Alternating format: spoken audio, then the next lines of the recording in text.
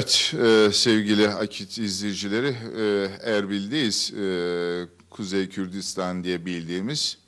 E, bugün özellikle Ali Avni Bey'i konuk ediyoruz. E, efendim hayırlı günler diliyoruz. İyisiniz inşallah. E, Ali Avni Bey KDP'nin Merkez Komite Başkanlarından. Ee, özellikle Musul ve bu bölgeyle ilgili ciddi çalışmalar yürüten e, bölgedeki önemli siyasi aktörlerden biri. Ee, bu konuda özellikle size şunu sormak isterim. Ee, şu son gelişmeler içerisinde baktığımızda özellikle bölgemizdeki son durumlar nelerdir? Örneğin e, Goran Hareketi içerisinde PKK'nın ve İran'ın desteğiyle bir takım olaylar organize edildi. Özellikle Süleymaniye ve Halepçe bölgelerinden, Kerkük bölgesinden bir takım çalışmalar yaptı hükümeti devirmeyle ilgili. Bu konudaki düşünceleriniz nelerdir? Çok teşekkür ederim. Hoş geldiniz. Yeni dünya dizayn edilirken ben şunu görüyorum. Yeni dünya düzeninde bu bölge tekrar paylaşılıyor.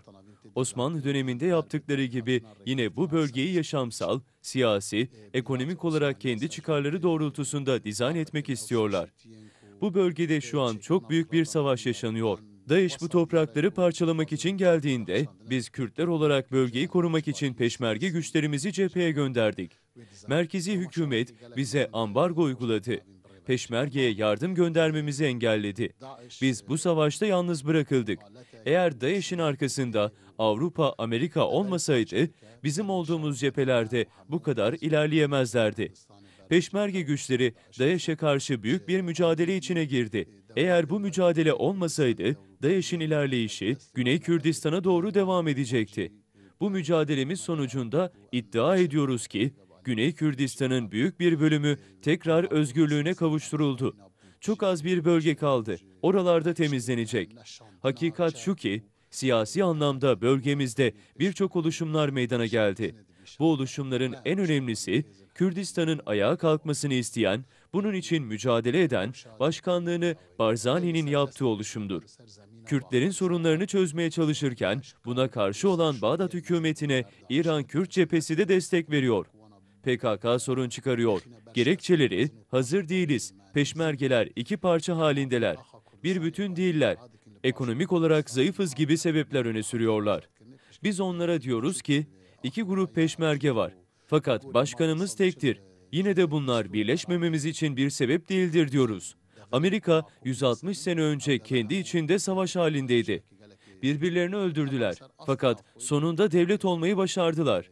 Şu an ekonomik durumumuzun kötü olduğu iddia edilse de Kafkasya'daki devletlerin durumu kadar kötü değil.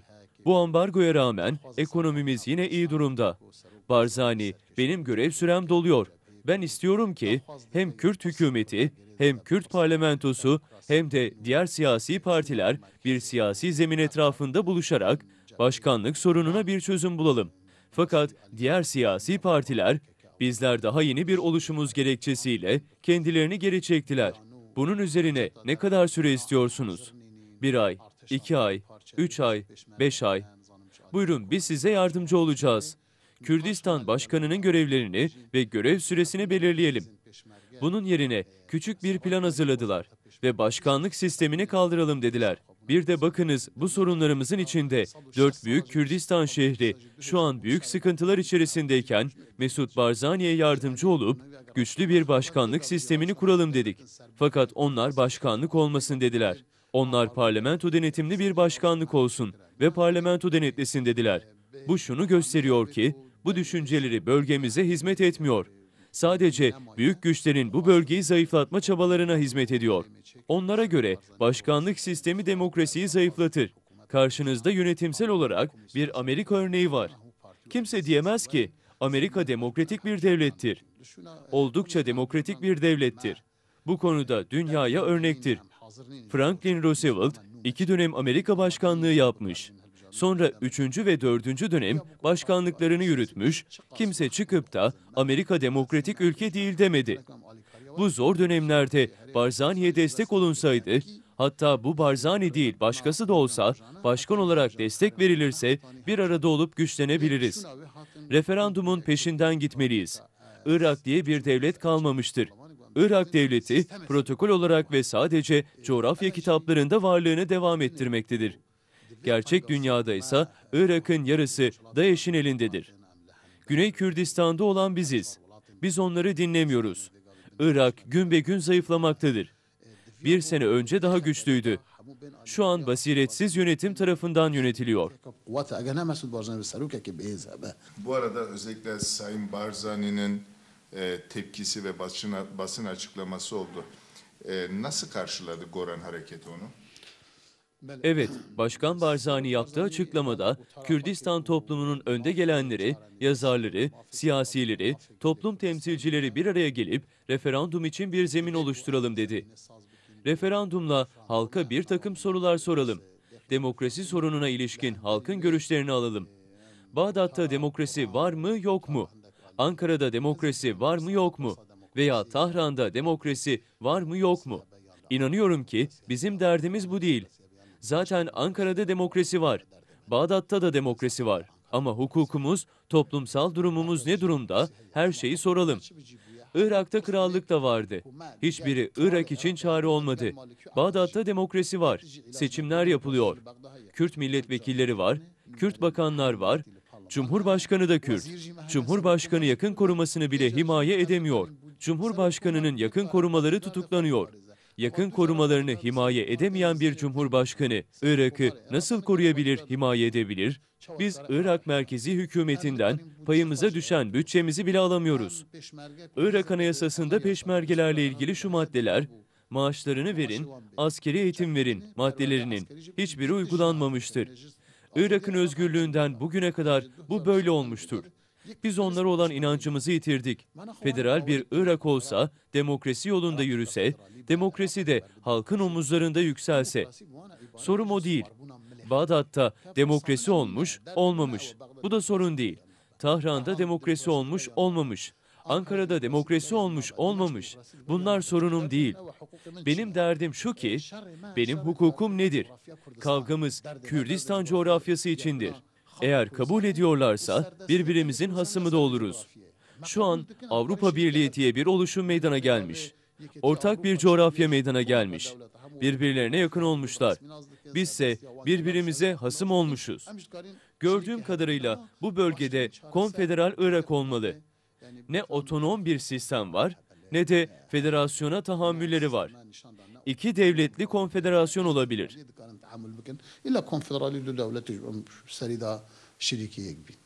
PKK'nın son zamanlarda e, Kürdistan'daki gelen boru hatlarına yaptığı sabotajlar var ve eylemler var. Enerji e, koridoruyla ilgili.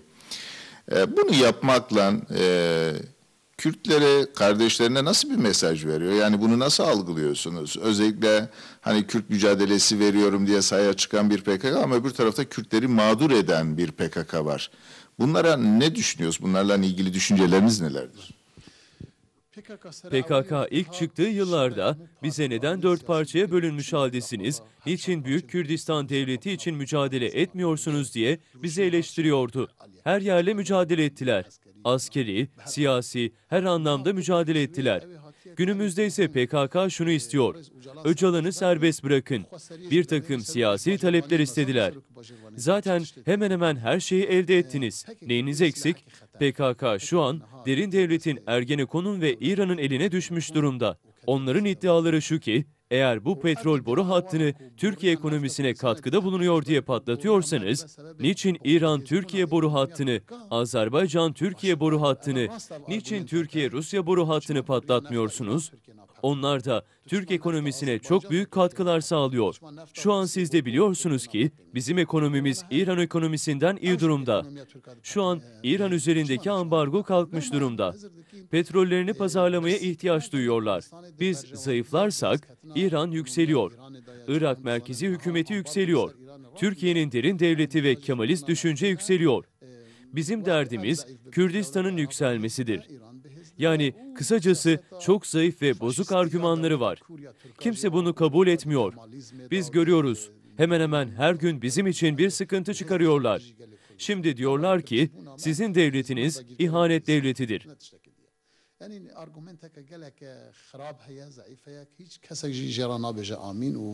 Ee, Barzani'nin tepkisi nasıl oldu bu enerji hatlarıyla ilgili? PKK'ya sert demeçler verdi mi?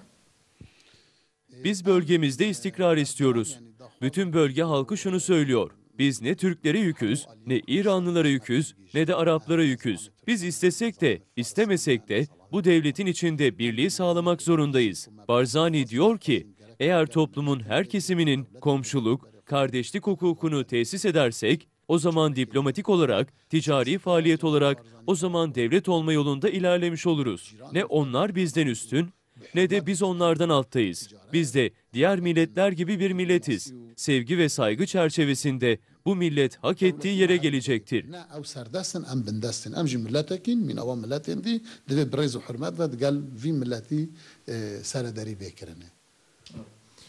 e. Ee, bu son zamanlardaki özellikle DAEŞ'le ilgili mücadeleye baktığımızda geçtiğimiz günlerde DAHOK'a DAEŞ'in ciddi bir müdahalesi oldu. Ee, Bir takım olaylar oldu. DAEŞ bölgedeki amaç ve faaliyetlerine baktığında eskisi gibi midir yoksa daha iyi bastırılmış mıdır? Artık peşmergeler daha etkin midir? Bu Musul'la ilgili olan gelişmeler hakkında bilgi almak istiyoruz. Doğrusu DAEŞ ilk geldiği zamanlar bizim açımızdan eksikliklerimiz vardı. Savaşın uzun sürmesi, askerimizin hazırlıksız olması da bir unsurdur. Siz de biliyorsunuz ki NATO'nun silahları DAEŞ'in eline geçti. İslami kadroların, Kafkasya'daki İslami unsurların, teknolojiyi iyi bilen Avrupalıların bir araya gelip bozuk bir fikirle aniden ortaya çıkıp gelmeleri bizi hazırlıksız yakaladı. Biz daha önce böyle bir savaş yapmamıştık. Bu meseleyle birlikte büyük bölünmeler oldu. Aziz Kürt gruplarından olan Yezidi Kürtler katledildi. Daha nice insanlar yurtlarından sürüldü. Bu gönlümüzde büyük bir yaradır. Şu an Peşmerge bu savaşta bayağı tecrübe edindi. Şu an cephede DAEŞ'le dürüstçe bir savaş halinde. DAEŞ'e büyük kayıplar verdirdi. Çok az bir yer DAEŞ'in elinde kaldı. Her yerde DAEŞ'in beli kırıldı. Savaş karada veya havada olsun, bütün askeri kaynaklar bilir ki karada düzenli bir ordunuz yoksa havada ne kadar üstün olursanız olun başarı sağlayamazsınız. Allah peşmergenin arkasındadır. Biz şunu iddia ediyoruz ki biz bütün dünyanın yerine savaşıyoruz. Bütün dünya bize yardım etse önemli değil. DAEŞ'te olan savaşımızdan daha önemli olan sefaletle savaşımız var ki Irak hükümeti tarafından ambargoya maruz bırakıldık. Bütçemizi vermiyor. Onlar istiyor ki DAEŞ'te olan savaşımızda mağlup olalım. Peşmerge'nin bu mücadelesinin başarıyla sürdürülmesini kendilerine yediremiyorlar. Peşmerge'nin maaşlarını veremiyoruz. Doğrudur, biraz maddi anlamda destek veriyorlar. Bu hiçbir harcamaya yetmiyor. Peşmergelerin ihtiyaçlarını karşılayamıyoruz.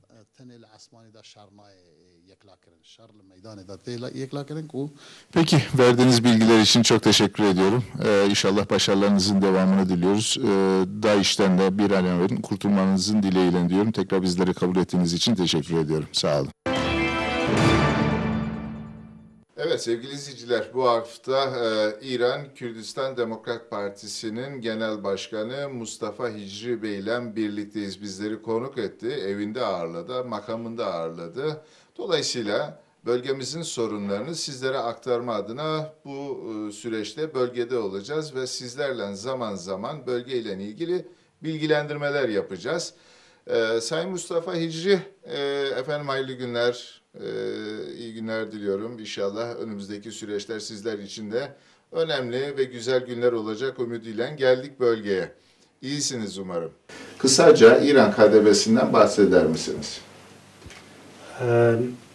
Hizbi Demokrasi 1945'te 2. Cihan Harbi'nde kuruldu. Mahabat başkenti Kürt Devleti'nin kurulumundan birkaç ay sonraya denk gelir. Mahabat Kürt Devleti kurulduktan 11 ay sonra Şah rejimi tarafından savaşta yıkıldı. Bu kısa süre içinde demokrasiyle ilgili adımlar da atıldı. Azadi gazetesi ve Azadi siyasi matbaası kuruldu. Kürtçe dilinin kullanımı sağlandı. Devlet coğrafi olarak küçük çaplıydı. Bu küçüklüğüne rağmen demokrasi alanında birçok adım attı. İkinci Dünya Savaşı bittikten sonra da Rusya-İran ittifakı Kürt hükümetinin üzerine yürüdü. Bu devleti dağıttı. KDP Azerbaycan'da Erbil merkezli kuruldu. Kurulduktan sonra İran-Rusya ittifakı dağıldı. KDP Başkanı Gazi Muhammed İran tarafından yakalandı. Diğer parti yetkilileriyle beraber idam edildi. Geri kalanlar saklandı. Uzunca bir süre faaliyetlerine ara verdiler. Sonradan gizli bir şekilde siyasi mücadele yeniden başladı ve uzun bir süre bu bu şekilde devam etti. İran rejiminin baskısından dolayı da Kuzey Irak'a geçtiler. Eski Şah rejimi yıkılıncaya kadar bu böylece devam etti. İran İslam Cumhuriyeti kurulunca Kürt halkına isteklerini yerine getirme sözünü verdiler. İran İslam Cumhuriyeti tam olarak kurulduktan sonra devlet sözlerinde durmadı. Aynı sürece devam etti ve KDP'ye tekrar savaş açtı. Bu savaş 2-3 yıl kadar sürdü. Partinin geri çekilmesine sebep oldu. Hem peşmerge olarak hem de cihatçı olarak faaliyetlerine gizli olarak devam etmek zorunda kaldılar. Bu arada İslam Cumhuriyeti ile çok temaslar oldu. İran İslam Cumhuriyeti buna müsaade etmedi. İran İslam rejimi bunlara fırsat vermedi. Daha sonraki süreçte de Doktor Kasım başkanlığında Viyana'da toplandılar. Kürt meselesinde İran İslam Cumhuriyeti'nin müdahalesiyle bir sonuç alınamadı. Bu toplantıda Doktor Kasım şehit edildi. Yardımcısı da Berlin'de şehit düştü. Mücadele bu şekliyle hala devam ediyor. Merkezimiz Kuzey Irak'ta. UNP'ye üye bir teşkilatız. Kürtler, Türkler, Azeriler ve 30 kadar topluluk mevcut. Bizim asıl hedefimiz İran'da federal bir oluşum, federal bir bölge. Merkezi hükümete bağlı olmak hedefindeyiz. Aynı şekilde mücadelemiz İran'la devam ediyor. Avrupa'da, Amerika ve dünyanın birçok bölgesinde irtibat bürolarımız ve organizasyonlarımız mevcut. Evet. Ee, bu özellikle e, İran KDP'si olarak sizin e, son zamanlarda eylemleriniz oldu. Bu eylemlerinizden özellikle savaşı başlatmak gibi bir cepheniz oldu. Buna nasıl bir cevap verebilirsiniz? İran devletine karşı bir süredir silahlı mücadele vermiyoruz. Hazır peşmergelerimiz var ve bunlar İran sınırları içinde. Amacımız halkla bütünleşmek, mücadelemizi anlatmak. Bizim ayrıca partimizin sosyal medya oluşumları mevcut. Karışıklıklar baş döndürücü boyutta. Buradaki halklar şu an kendi geleceklerini bilmemekte. Buradaki karışıklıklar büyük devletlerin işine geliyor. Bu savaş mültecilerin artmasına sebep oluyor ve büyük bir sorun var. Birleşmiş Milletler, Avrupa Birliği, Rusya, Amerika Birleşik Devletleri ve CIA'in savaş istememelerine rağmen bu savaş hala devam ediyor. Biteceğe de benzemiyor. İran, Suriye, Yemen ve Hizbullah'la büyük birliktelik içinde. Buralarda eli uzun. İran direkt müdahil. Bu savaşları da uzatmaya çalışıyor. Bitmesini istiyor gibi görünseler de savaşları uzatan kendileri. Asıl amaçları da mezhep temelinde bir savaş oluşturmak. Rusya'nın DAEŞ bahanesiyle Suriye müdahalesi Esed'e destek amaçlı. Aynı zamanda İran'da Esed'le birlikte Lübnan'daki bütün oluşumlarda İran kaynaklı. Esed tam bitmişken Rusya'nın müdahalesiyle güç kazandı. Herhangi bir şekilde DAEŞ'le ilgisi yok. Tamamen Esed'in ayakta kalması amaç. کۆمەڵێک لە پێشمەرگەکانمان نردەوە نێو خۆی وڵات Ee, bu son Orta Doğu'daki gelişmelerle ilgili bir takım değişmeler oldu. Bu değişmeleri nasıl yorumluyorsunuz? Yani yeni dünya konjonktüründeki siyasal gelişimi nasıl karşılıyorsunuz? لە Rusya'nın diğer amacı da Esed'i masada güçlü kılmaktı ve bunu da başarmış görünüyor. PKK Pıjak Savaşı'na gelince Peşmerge güçlerimizi İran sınırına yolladığımız PKK bizi engelledi. Yolumuzu kesti. Çatışmalar oldu. Yüz kadar kişi yaralandı. Şehitlerimiz var. Daha sonra masada oturarak bir nevi anlaştık. Sonrasında İran topraklarına girdik. Mücadelemiz böyle devam ediyor. Evet başkanım teşekkür ediyorum. Ee, bir diğer konuysa e, özellikle AK Parti iktidarı ve hükümetinin Kürtlere yaklaşım biçimini size sorsam, e, Türkiye'deki Kürtler açısından nasıl bir Kateka, e, a, Kürtlerle hükümet arasında başlayan barış süreci bizi çok umutlandırdı. Siyasi olarak adım atılması çok iyi bir gelişmeydi. Esed gibi bir diktatörün demokrasi inancı yoktur. Tamamen bir Şii rejimidir. Şii itikatıyla hareket eden bir rejimdir. İran'da da durum aynıdır. Bir kişinin lafı geçerlidir. Hem içeride hem dışarıda. Asla demokrasiden bahsedilemez. Ne zaman İran'daki rejim yıkılırsa belki demokrasi ve reformlardan bahsedebiliriz. İran devletine bir güven problemi var. Siyasi olarak mücadeleden yanayız. Türkiye'nin Kürt hareketi siyasi olarak demokrasi temelinde çok iyi noktalara geldi. Fırsat oldu Elde edilen belediye ve milletvekilleri tam bir fırsattı. بەدەیان هزار نەفەر کوژراون بریندار بوون کۆمەڵێکی زۆر لە اه، گوندەکان وێران بوون Bu Diyarbakır'daki özellikle e, PKK'nın HDP ile birlikte hendek e, kazma meselesi var. Sur'da ve Cizre'de. E, PKK burada neyi amaçlıyor ve nasıl görüyorsunuz? هەمە پێما وایە کە وەختێک اه، ama bu savaş onlara da engel oldu. Bir daha çözüm sürecinin olması gerekiyor.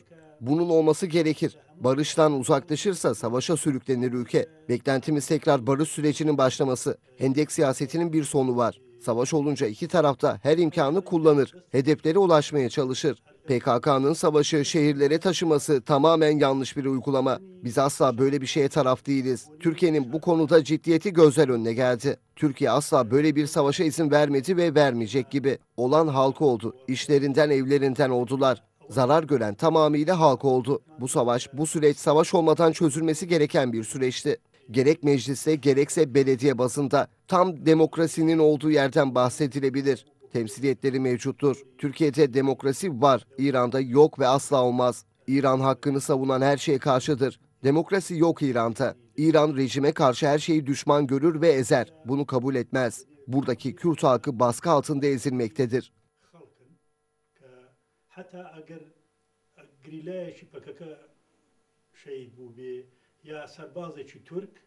Ee, bu Türkiye'deki yapılan reformlar ve çözüm sürecini İran destekler mi yoksa bunu baltalamak için özel bir çaba mı gösterir? Ee, Kumar İslami İran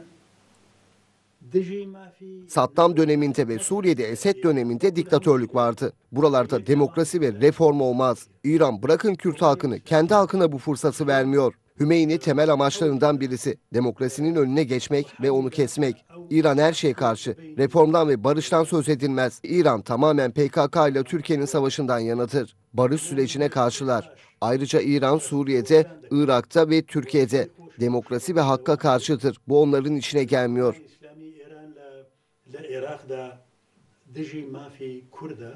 Son sorum Sayın Başkanım. Ee, özellikle önemli bilgileri paylaştınız.